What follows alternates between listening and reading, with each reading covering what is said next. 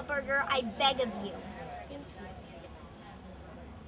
you. or a tuna melt at Patty's. Oh, that sounds good. There's no um, In and Out or, or tuna melt from Patty's here in Thailand. No, there's white You rice. get, you get egg fried rice, and that's about it.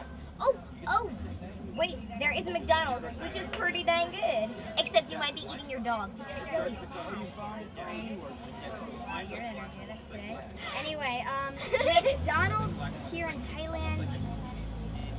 You'll come to Thailand and you'll go to McDonald's and you'll notice something 100% different, and that's that they have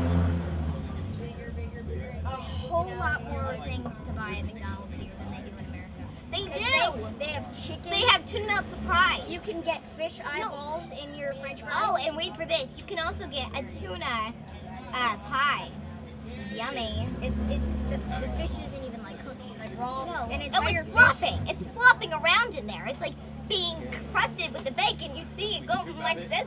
Not that around. not that we don't like Thai food. Oh, we love it. Because I love fish eyeballs in my French fries. See ya. Gotta go. Sorry.